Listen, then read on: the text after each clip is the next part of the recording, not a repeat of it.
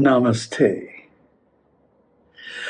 So I hesitated to make this video for some time because I didn't want to contribute to all the hype. If you look around on YouTube, there's 150 videos about the upcoming solar eclipse. And most of them are making mundane astrological predictions of gloom and doom and hyping the thing to the max, you know, using it to predict the uh, death or assassination of whoever they don't like. I couldn't just sit on the sidelines.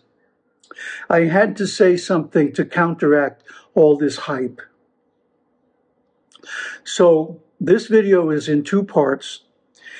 In the first part, we'll go over the celestial mechanics of the upcoming eclipse. And in the second part, we'll try to come up with a reasonable prediction for what's going to happen on and after the March 29th solar eclipse. Here's the top down global view of the eclipse area. And you can see it's centered with the maximum totality in British Columbia, but it spreads across Greenland to the northernmost shores of the USSR or Russia, whatever we call it these days, and even as far as Scandinavia and the UK. Whereas in the south, the outermost reaches of visibility of the eclipse actually barely touches Washington and New York City. Here's another view of the same thing in Mercator projection. And it's showing the maximum intensity or maximum visibility of the eclipse quite clearly. Now, this animation shows how the visibility cone develops as the night moves westward over to Asia. The dawn in the East Coast US brings the beginning of the eclipse, and then it spreads upward and even touches parts of Europe and Africa. This animation shows the transits or the movements of the planets in the sky leading up to the present situation where we have six planets in Pisces opposing Ketu. So as you can see, the moon is going around and making all these aspects with the different signs, whereas on the left upper quadrant, all the planets are slowly moving into Pisces. Here's where we are right now. This is the lunar eclipse that is happening on Friday, the 14th of March. It's a total lunar eclipse, only visible in the Western Hemisphere. And this is not really such a powerful eclipse, but it sets up the situation for the next eclipse, the solar eclipse on March 29th, which is very powerful and going to be an incisive event that will determine the course of at least the next couple of years. This is how the solar eclipse looks on the transit map. Now let's take a look at the actual astrological charts of the moment of the eclipse. These are very revealing. One way to look at astrology conceptually is as 12 houses arranged around a square.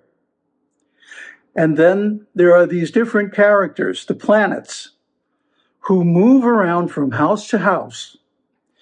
And when they gather in one house, there are interactions between them, sometimes friendly, sometimes conflict. And well, it's so complicated that no human mind can actually grasp the totality of the possibilities of these interactions. So here we have a very interesting gathering of six planets in the house of Pisces. Pisces in the natural zodiac is the 12th house, the house of death, losses, and also enlightenment. And these six planets are having a powwow. Saturn is waiting just outside the door, only two minutes away, and he is about to join the party right in the midst of the solar eclipse. First of all, let's analyze the aspects. In Western astrology, they're called aspects, but in Vedic astrology, in Jyotish, they're called drishti. Drishti means looking, and they're not always exactly like the Western aspects. So, analyzing the drishti the six planets in Pisces are all looking at Ketu, seven bhavas or houses away. So they have a seven bhavas drishti to Ketu. Jupiter in Cancer has a five bhavas drishti to Ketu. Mars in Gemini has a four bhavas drishti to Ketu. All eyes of all the planets are on Ketu. That's what I meant when I said Ketu has the ball. You can analyze, and maybe Saturn is a significator in the classical analysis, or maybe the Sun is, but all of them are looking at Ketu to provide the meaning to this intense situation. Now, this chart shows what happens just six hours after the peak of the eclipse. While it's still going on, Saturn enters Pisces. It's like the five other planets Moon, Sun, Mercury, Venus, and Rahu are having a party or having a meeting, and Saturn walks into the room. Boom. So Saturn is going to say, All right, you guys, you know how Saturn is. All right, you guys, this is what we're going to do. Because Saturn, Shani is one of the names of Shiva.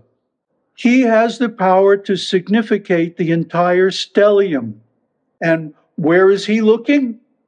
Right at Ketu, like everybody else. Now, this chart shows the situation only two hours later, or eight hours after the peak of the eclipse, where the ascendant, the Lagna, moves to Virgo, right on top of Ketu. Virgo is the sixth Rashi, the sixth natural house of the zodiac, and it becomes the first bhava, the moment of sunrise, at least in the UK. So this is the moment when, if something is going to happen, it's going to happen at this moment. This is the moment when all the decisions looking to Ketu are going to be resolved and the meaning is going to be ascertained. Now, it might not result in an immediate effect, an immediate phenomenon, but it certainly will crystallize the stellium and create the mood or the decision going forward. And now in the next part of the video, we'll go over what this could possibly mean. The problem with analyzing the meaning of Ketu in this situation particularly, but even in general, is that Ketu can mean so many things. In general, Ketu scatters and disintegrates and takes things away. That can be good or bad, depending on the context. Let's look at some of the meanings of Ketu given in the astrological literature. In general, Ketu moves in scattered directions, and this is a forecast during any period controlled by Ketu. So, what could this mean? Well, it could mean this, or this, or this, or even this.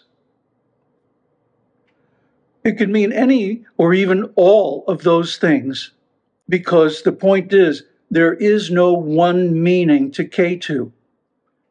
So all the astrologers who are predicting this is what's going to happen on the 29th of March aren't getting it.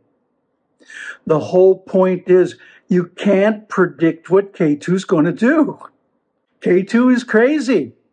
Ketu is mad. He's a demon. So he's going to destroy stuff. We know that. But there is no telling for sure what he's going to destroy or how he's going to do it. There are so many possibilities because all six major planets are there in Pisces looking at Ketu, saying, okay, it's up to you. So he can use their powers in any way that he wants. And what he wants is usually pretty weird. I don't think it's possible for a human being to decipher this situation and come up with a single definitive interpretation. So we have to be satisfied with a general meaning. And what is that? Well, let's look into how often do we find all six major planets in one sign? It's pretty rare.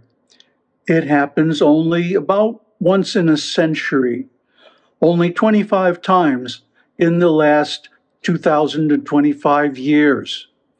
And only two of those were in Pisces in 1615 and 1113. But if we take the moon out of the equation, because the moon is the fastest moving planet and leaves the stellium first before any of the others, the only event that matches is on April 4th, 1968. And of course, that was the assassination of Martin Luther King Jr., the famous civil rights leader who broke the back of race discrimination in America. No good deed goes unpunished. That's the Murphy's Law version of justice in this world. So, what are we going to see on April 29th? Maybe another assassination? Or maybe it's going to be a big storm. Or maybe an earthquake. Or it could be some kind of war event. Maybe a major attack in Ukraine. Or maybe a new war starting. It's impossible to say. It could be a stock market crash. It could be actually all of those things. We don't really know. What we do know is that it's going to be big, big news on the scale of COVID, or maybe even bigger. And it's going to affect the whole world, all the planets, and all the things they represent for the next two and a half years because the significator, the decider, Saturn, will stay in Pisces for that length of time. This is going to be an era, just like we remember the COVID era, which lasted about the same length of time, because again, it was a movement of Saturn. Saturn is the one who imposes discipline. So in this case, Saturn is deferring his judgment of what's going to happen to Ketu, which is sort of like throwing the dice and saying, well, whatever, man. the time has come for the imposition of discipline on the human race, on this planet. This is because of our mistakes, our excesses, our misjudgments, our stupidly renouncing our connection with God and nature and believing in material science, which has led us totally astray. So, this is karma. That's why Saturn is involved. That's why all the planets are following Saturn's lead and looking at Ketu and saying, look, however you want to do it, man, it's cool. And that seems to indicate a very widespread effect that's going to affect a lot of different areas of life for a significant period of time. But exactly what it is, no one can say. Man proposes, but God disposes. If you want a reading, get in touch with us on WhatsApp and we'll see how this planetary stellium might affect you. Om Tat Sat. Om Shakti Om. Om Namah Shivaya.